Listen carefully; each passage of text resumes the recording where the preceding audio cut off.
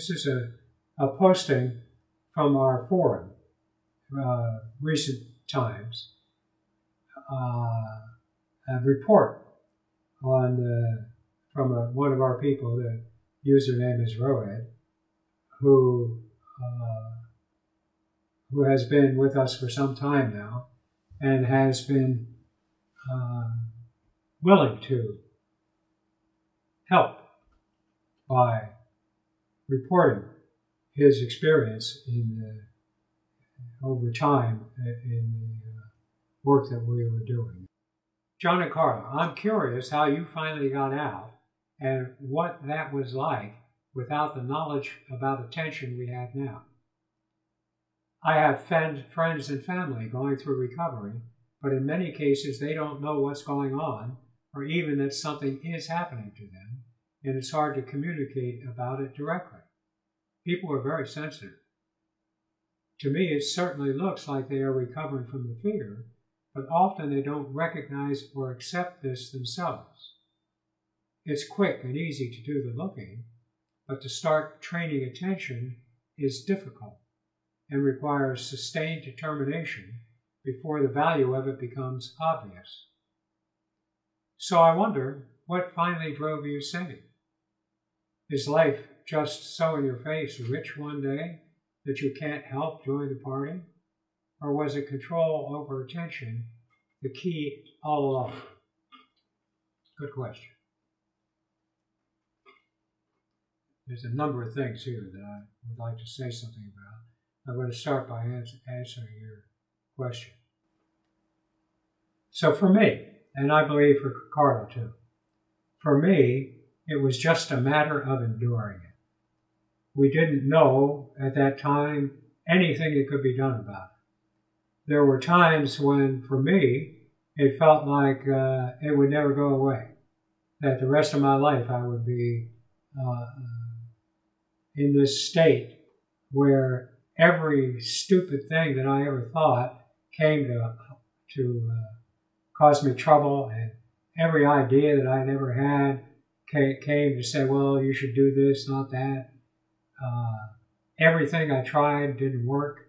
It was just a, it was a horror show. And, but, there was, and I think that if you consider yourself, whoever's listening, there was some space between me and the wildness and craziness and stupidity that was happening in my mind.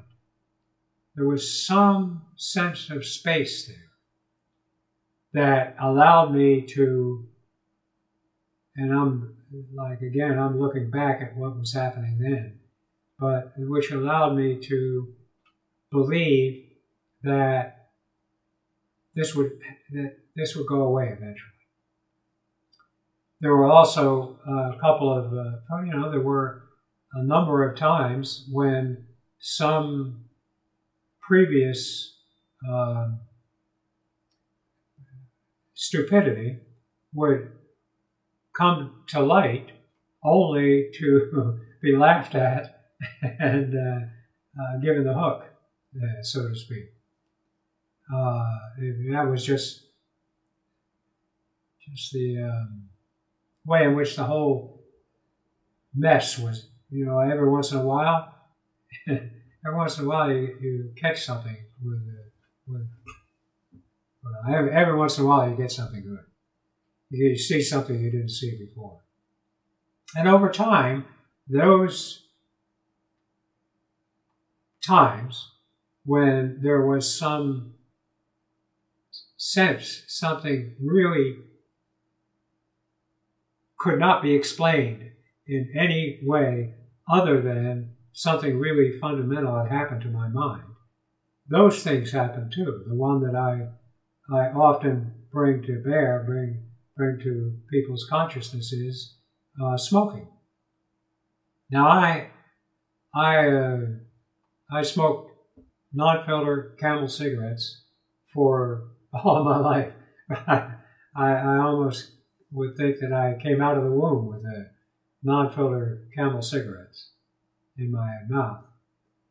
I didn't smoke as much as most people do. I rarely smoked a whole pack in a day, but I, there was never a day that I wasn't smoking Camel non-filter cigarettes.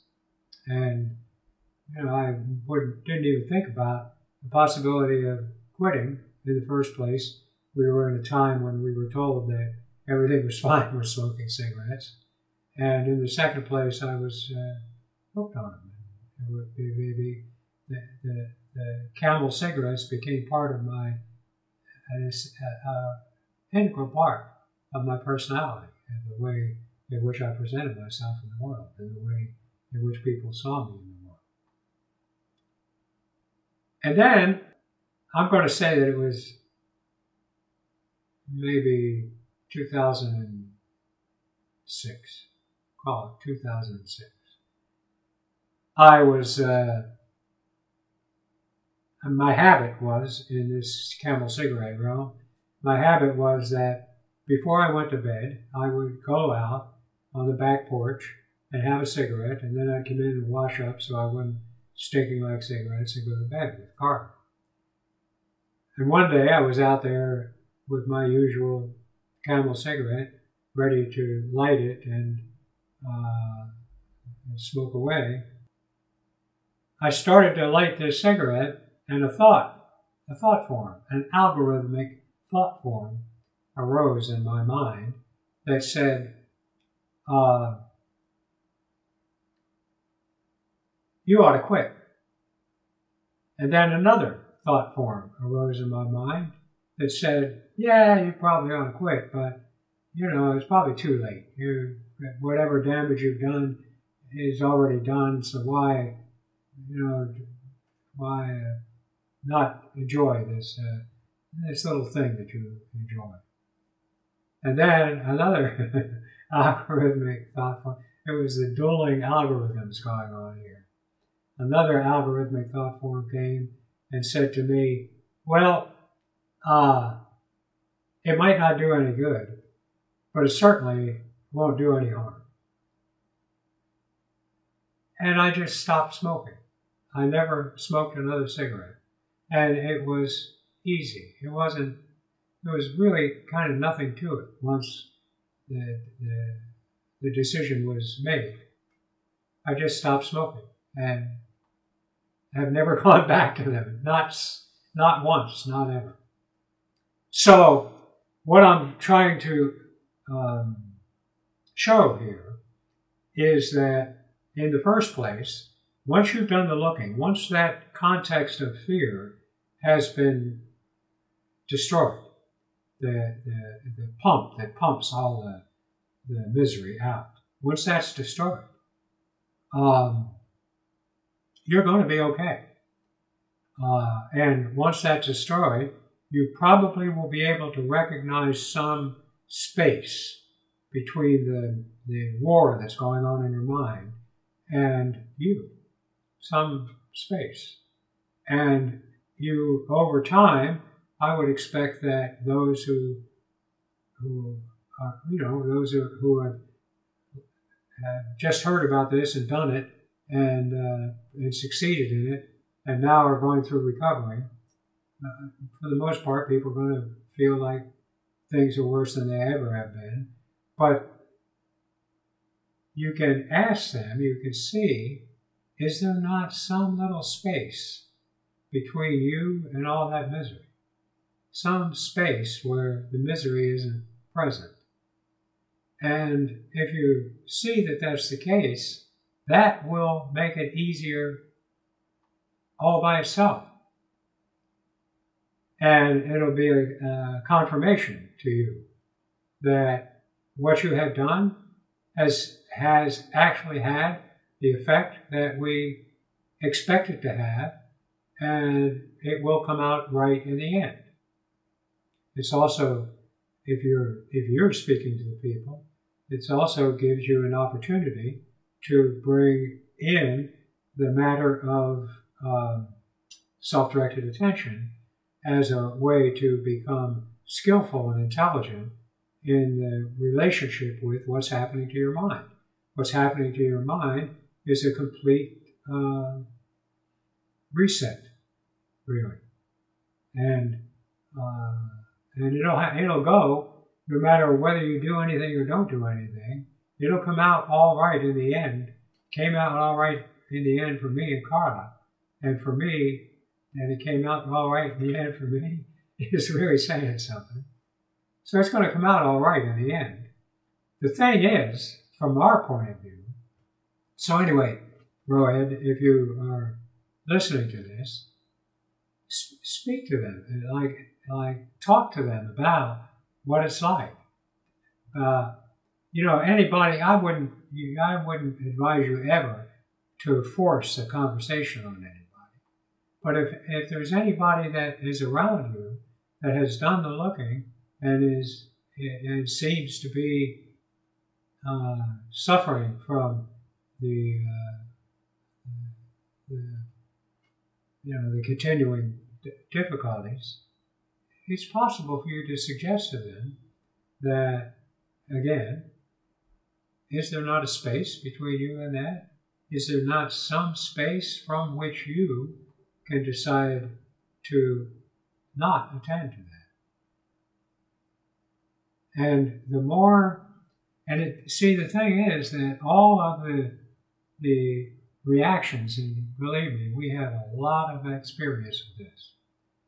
All of the reactions to what you suggest to them will be discarded by the mind. But the person will hear it anyway. And, and the person still is connected to that sickness, but not sick with it. So I think that it's, first of all, if you do nothing, I'm confident that it'll turn out right for them. And I'm also confident that in the end, if it takes as long as it took me, in the end, they probably will not have any idea what has happened. They will be sane and, and uh, uncomplicated human beings in the way that, that uh, human beings are meant to be, but they will have no idea how that came to pass and uh, that's okay. I would rather people be free without knowing what made them free than not to be free at all. But we live in really terrible times right now, and and I myself and Carla, we really think that the world needs to hear this, so that and the fact that the world needs to hear this, the world of human beings needs to hear this, means that the human beings who have tried this and succeeded should be out there talking to people, trying to help, or, you know, working with us in a way to, to, uh, to accomplish what we're trying to accomplish here which we don't have the means or the the uh, skill really. Uh, we our skills are skills that we are learning as we go along. So that's what I think. And again, if you do nothing, if nobody ever says a word to those folks that gives them some path out of their confusion and misery. They will be okay in the end. They will most likely not be able to tell what exactly happened or how it unfolded. They'll probably be surprised when they notice it. But they'll be okay in the end. Getting free from the fear of life can cause no trouble. None whatsoever. It's not going to make things worse. In the interim, while the diseased mind is reformulating itself, in that interim period, there will be a lot of misery and a lot of uh, confusion and a lot of uh, there won't be much in the way of fear, but a lot of, uh, you know, stupidity and neurotic behaviors. So, and I'm not sure, you know, one of the things I would like to do as in time, uh, when, when time and, and resources permit, is to work with, you know, like I'd like to be able to get together with a group of people who are really interested in uh, uh, in learning how to most effectively uh, bring this work to the world. I'd like to be able to talk with people, and you know, people who are actually interested in doing that. I'd be able to talk with people directly, so that we all can, so that those of us who are interested in this have an opportunity to work together and be effective in bringing this, which is the only hope we have. You know, we it's a it's a well known uh, it's a well known fact that human uh, society goes through crises that they are, that are pretty much predictable, and it seems like they're in the hundred year range. The human family, the human human the, the human, humanity will go crazy. And that's what we're in now. That's what we were in 100 years ago. And that's what we're in now. And the thing about it is that each time, because of the fact that we have become better at killing each other and more effective at killing each other and hurting each other and enslaving each other and, and impoverishing each other and so forth, each iteration of this cycle is worse than the one before.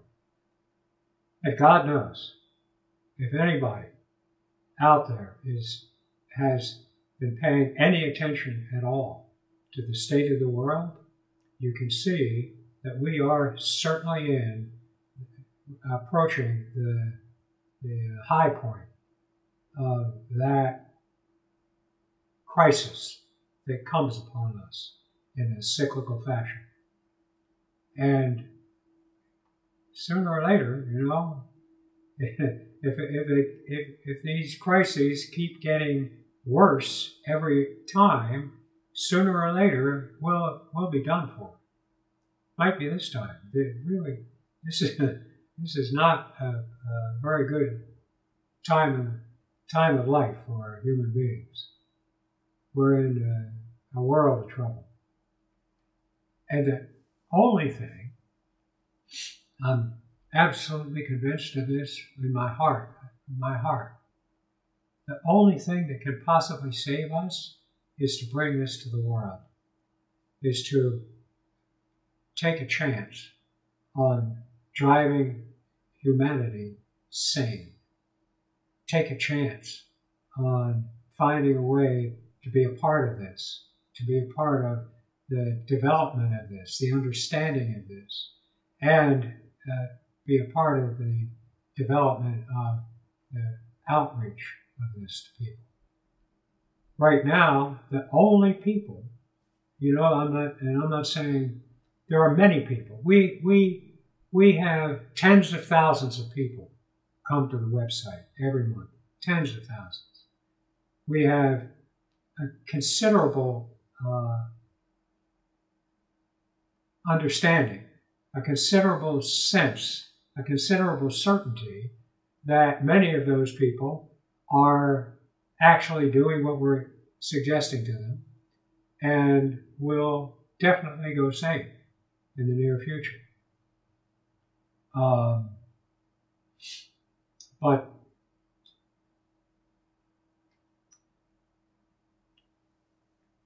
the time grows late for us.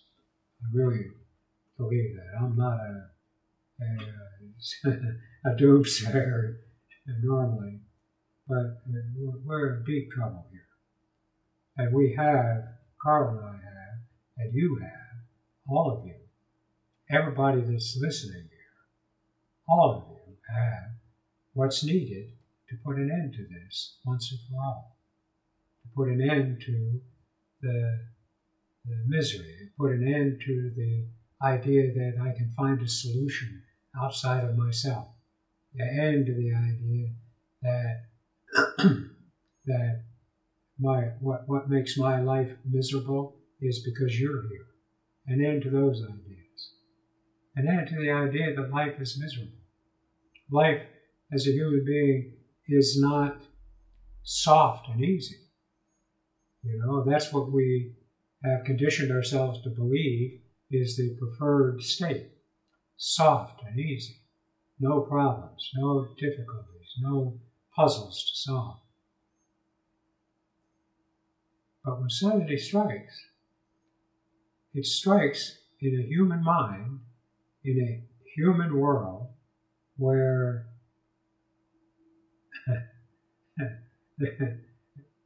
I, I, will tell you that whatever, however I might characterize the nature of being in a human world, being uh, at peace and unconcerned about anything is the farthest from what I would have to say.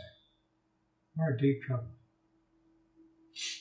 And I, again, just to wrap this up, I am convinced, Carla and I are convinced, that what we have stumbled upon here will do the trick. That we actually can bring something to the world that may slow down the rush to oblivion, that may bring, increase the level of sanity in the human community. And yeah.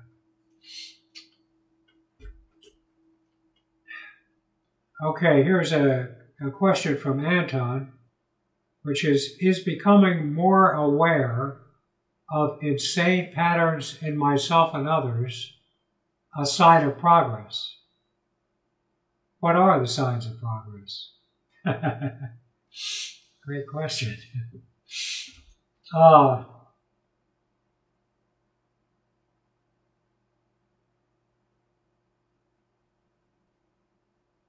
Oh, yes. Becoming more aware of insane patterns in you and others is definitely a sign of progress. You see, the fear, the, the uh, algorithms of the fear are uh, disguise themselves. They don't want you to see even that they are there, much less that there's something you can do about them. I mean, I'm acting as if they have agency, which they don't, of course. They're just algorithms. But that's the way they behave. They, um, they don't arrive as something outside of yourself. They arrive as your actual experience of your life. So that when you become aware of these insane patterns, becoming aware of the insane patterns is uh, is uh, is proof of the pudding. The, the the system that's there that creates all the problems, it has no interest in making you aware of the fact that you're crazy. Quite the opposite. So that when you become more aware of insane patterns in yourself, you can be certain that that's a, a confirming sign that help is on the way, that it's going, things are going to turn out right. Probably it, it would depend on how, what you mean by seeing the, the uh, insane patterns in others. Uh, you know, I, I can't really speak to that. I, I know that I am myself aware of the insanity around me, and most of the time don't like to be around people for that very reason. But I also, uh, you know, unless unless it's in the context in which we can do something, be helpful to people. But uh, it, it's obvious to me. You know, you pick up. It doesn't. it doesn't take being free from fear to see that there is a an ocean of insanity. I think that recognizing the particular instances of insanity around you might well be due to uh, uh, your increased sensitivity to the presence of those things. When you're when you're sick, when you're deep into the the sickness itself, you yourself don't see them as something outside of yourself. Or at least that well I didn't. I saw them to be, well, me, my experience. It was me, it was my life, just the way it was. It wasn't something that was optional or something that I could see to be, uh, you know, something other than me. So, and I didn't see it in others either. I saw others either to be those folks who I could take advantage of, those folks who who might hurt me, who were, you know, steal from me or kill me or or do something else like that, and those and those of those of the people there who were, you know, uh, suckers. Uh, I did not have a sense. My own misery was way too big to for me to know anything about. I always thought that I was the only one. See, we all think that. I think I was the only one that was so sick, so screwed up. Uh, uh, so anyway, so yes, if you recognize these patterns arriving within you, you could take that as an, ex, an extreme confirmation that the work is being done. What you really have to do, really, if you don't do this, you're just going to end up, you know, free from the fear and your life will be okay, but you'll just be on your own, like there's nobody else in the world. We know people like that. That's the way I would be if I was, if people would leave me alone. So, anyway help us. Help me, help me. okay? And you start, if you haven't already started, start self directed attention. This is much more than merely something to make you feel better. This is the heart and soul of your ability to have control over your life and over your mind. That's what's at stake here.